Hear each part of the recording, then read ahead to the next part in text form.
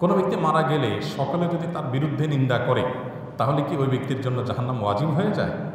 না ভাই, এমন কোনো কথা নাই যে কোনো ব্যক্তি মারা গেলে সবাই তার সমালোচনা করলে লোকটা জাহান্নামি হয়ে যাবে। জান্নাত জাহান্নামি হওয়াটা এটা ভোটাভুটির উপর নির্ভর করে না। যদি ভোটাভুটির উপর নির্ভর করতো, তাহলে তো সবাই খাওয়া দাওয়া টাকা পয়সা দিয়া খুশি রেখে আমরা মরতাম যে, ভাই, মরার পরে তোরা সবাই ভালো বলিস।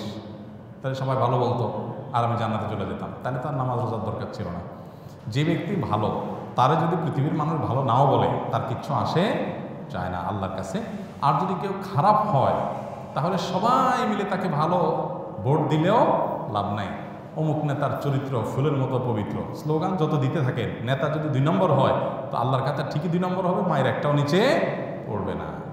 ওই জনগণ যতই স্লোগান দেয় কোনো কাজ হবে না। নেতা টাকা পয়সা দিয়া চামচাদেরকে খুশি করে তাদের দিয়া স্লোগান দেওয়াইছে। এই জন্য আল্লাহ বলবে, ঠিক আছে, এত চামচা যেহেতু বলছে তার চরিত্র, ফুলের মতো পবিত্র, ঠিক আছে, তাহলে তারা জান্নাত দিয়ে দেবে। এত সহজ?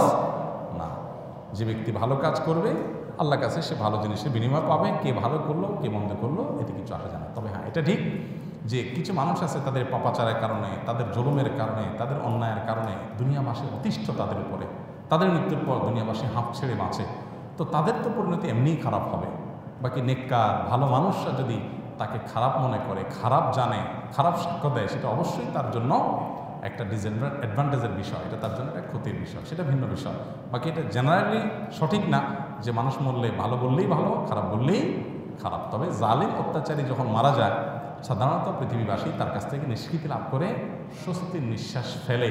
এটা তাদের অপরাধী হওয়ার একটা আলামত, অতএব এটাকে আমরা আবার ভুল বলতে পারি না, সেটা আপন জায়গায়। ঠিক আছে, আল্লাহ আমাদের সবাইকে সৎ পথে পরিচালিত হতে